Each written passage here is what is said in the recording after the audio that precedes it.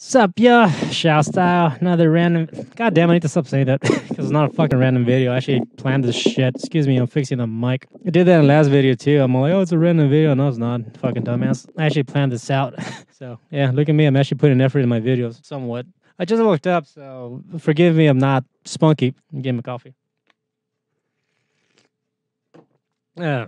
All right, so I showed you how I create my sequence in the sense I I sync my files using PluralEyes. Once that sequence is synced, I import it into Premiere Pro. All the footage comes in, and like I got my, as you can see here, here's a sync sequence. I double click, and that's pretty much what we're seeing right here. After that video, part one, on part two, I showed you how I use proxies to help me speed up my workflow, right? We imported the footage, we got our, you know, our files all synced up and ready to go. And we also made the proxies uh, to help us edit faster, right? So we can have a more smoother playback uh, while we're editing. That way, you know, our CPU is not lagging behind and, you know, we can just, you know, cut and, you know, edit as fast as we need to be. So we got our footage here. Now, so pretty much what I'm going to do now and what I'm going to show you is basically how I, how I cut the like spaces in between the footage, right, to compact everything and create a multi-camera camera sequence. Now, now the first thing we want to do is, as you can see here, this is a mono audio file. Lavalier mics, or just say like this mic in general that I'm speaking towards, it records it in a mono format. So it only creates one audio file. So both left and right ear are using the same audio file. They're not separated. So what we want to do is we want to create a stereo because usually by itself it doesn't sound good. You just gotta have it in stereo. It sounds more fuller, more louder, more clear, whatever. So what you gotta do is find this guy. You can right click, modify, then audio channels. Then right here, pretty much in the clip channel format, we want to set it to stereo. Now we click on the right. So pretty much it's gonna like split the audio files into left and right. So it's gonna say that changing this clip format when effect was in the timeline, hit OK. Go back to your timeline, hit home. It takes you to like the beginning. Kind of zoom in there and drag in your newly corrected stereo the audio file on top of this guy. Make sure it matches, right?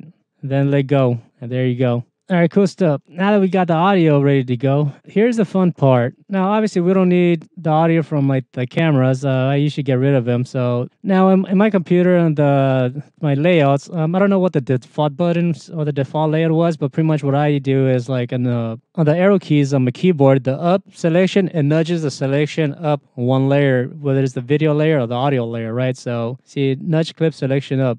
So in this case, using the arrow keys, I go up one, two, three. I can't remember what the default was on the keyboard layout, but that's what I do. You know, nudge selection up one or down using the arrow keys, right? I go up, it gets rid of like the audio files. I don't have to like click and delete anything. What we want to do is basically we want to start trimming everything. So we want to make sure we just use the audio files here. We don't need this crap. So what we can do is we can get the blade tool, cut, and select. But no, fuck that. We wanted to get shit done fast. So now I have a video where I showed you about my shortcuts. I'll have it set up right on my keyboard. See, the W is uh, go to next edit point. The S is go to previous edit point. So I'm going up, I go down.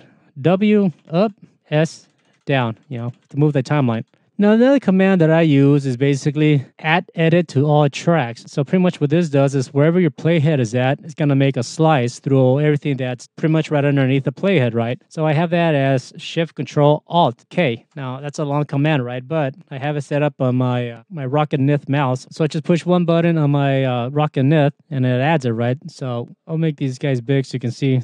I'm going to Shift Control Alt K hit W to go up to the next edit point, Control Shift Alt K to slice, S to go back, Control Shift Alt P to select what I just sliced, then Shift Delete to do a ripple delete. Now that's a lot, obviously, but that's why I set up a macro, so it does it all for me. So all this all this commands I just did, I just push one button now. It's all like, boop, Oh, this is very important as well. See these guys here on the side? Make sure everything is selected.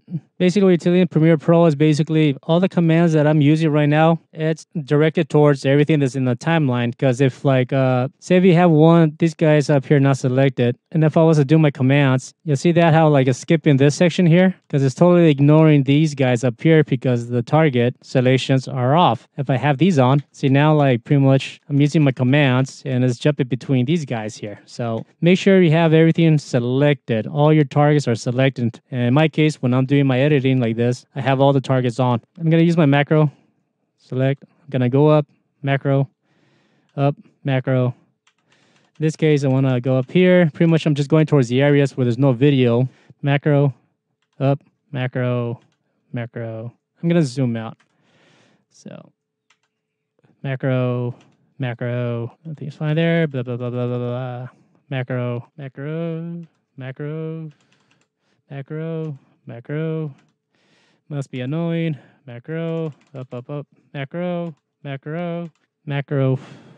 Delete that gap. So there you go. Now I got rid of all my gaps. These are B-roll shots. I don't need them right now. I'll delete them. And there you go. And just like a few clicks, pretty much I got rid of all the gaps. Super awesome, right? now that that part is done, the next part is basically we need to create a multicam. So uh, when I edit, I try to be as clean as possible in the sense like only have very few layers, right? Because like if you have layers on top of layers, uh, for me it becomes too much, right? So what I do is basically I pack all these together and I create a multicam. So what you do is once you're done uh, getting rid of like the gaps. Also, by the way, this guy's a link selection. So I say if like these two guys were linked, let me right click and say link so if I click the top, because these two are linked, if you want to just select one individually, you can uncheck this guy up here. And what that will do is like, they'll just select like the video clip. That way you're not like messing with the audio file. So just keep that in mind. So I'm going to select all my footage, only the footage, leave the audio alone. Once everything is selected, right click, and I'm going to hit nest. So in this case, I'm going to name it main nest tutorial. Hit OK. Boom. Now, see, instead of having like three layers of video footage, it's all in a nest. However, if I was to double click on this guy, it goes into another, the nested sequence, and it shows you here everything's in this uh, layer. You know, we got three layers main cameras in layer one, secondary camera layer two, and the top down camera in layer three. And the cool thing about that is basically each layer, each video layer represents a camera. So when we create our multi camera, pretty much now I only have to worry about three layers, which is three cameras. So once you create your nest, select it, right click, and create multi-camera, enable. And as you can see here in the front of like the name of the clip name, it says MC1, so it says multi-camera.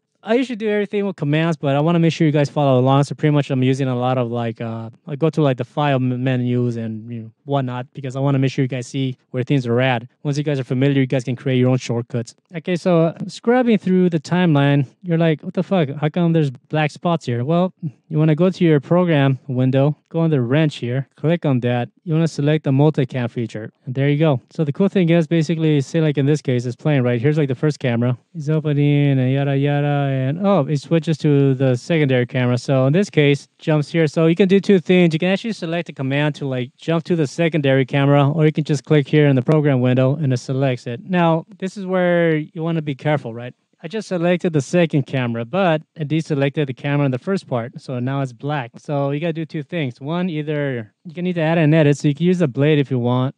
You can make a cut here, and then you select this section and you hit number two. Then on the previous clip here, you select number one. So now, like, see, these clips are separated. You know, it jumps from one to another. Or what I do is basically I have a hotkey and my hotkey is basically cut to camera one, cut to camera two, cut to camera three. Since we use three cameras, mainly I use. And for those, I have it set up to Shift, Control, Alt. Again, I use these crazy combinations because I use macros for my uh, command. So I have it Control, Shift, Alt one. It jumps to one. Play it a bit. I could do Control, Shift, Alt three. The thing about that is like as you're playing, when you use the commands and then jump to uh, another camera, it makes the cut. It makes the cut and it jumps to like that camera. So pretty sweet, right? Now one of the tools that I like to use is basically the Logitech G13. Using those shortcuts that just showed you that I use is the, the Control Shift Alt 1 or 2 or 3, you know, to jump between cameras. Pretty much I have that set up on my Logitech. However, the other thing I have set up is basically when it creates a, a cut to another camera, so in this case, Control Shift Alt 3. Also, I have it set up to select the edit points. In this case, that shortcut is Control, Shift Control Alt N. Select nearest edit point as roll. That's what I do. Shift Control Alt N. As you can see, it selects this. Now I do a Control D to apply default transitions, and that applies it to solve.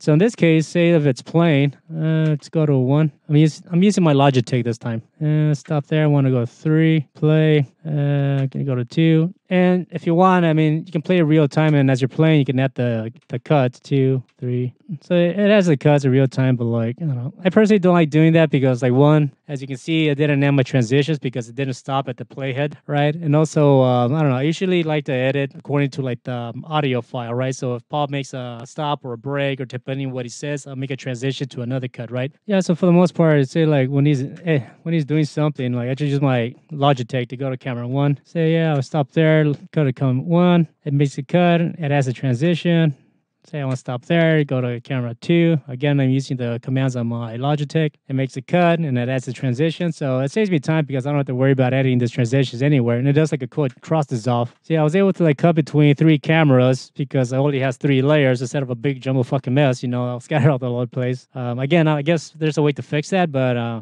I haven't looked into that yet. But at the moment, see, this works for me. So, so again, you know, one, two, so yeah, see that's cool because like you know using my shortcuts and my macros pretty much and using the multicam function here, uh, not only am I able to have less less virtual cameras to jump in between because I only have three layers of footage. That's three cameras. So with my commands and my macros, I'm able to like do a cut. It selects that cut and it adds across itself, right? So it's more of like instead of being like a jump cut, there's like a nice transition from one camera to another, right? That's it. I'm gonna end the video right here. Hopefully it helps out. You know, please check out the links below. If, if my videos help me out, you guys can help me out as well. I do appreciate that. So I'm gonna keep this going. Uh, on the next video, I'm gonna show you pretty much like uh, how I edit using like the audio files. But most importantly, I think uh, something I recently discovered is basically how to cut out more of like the dead gaps.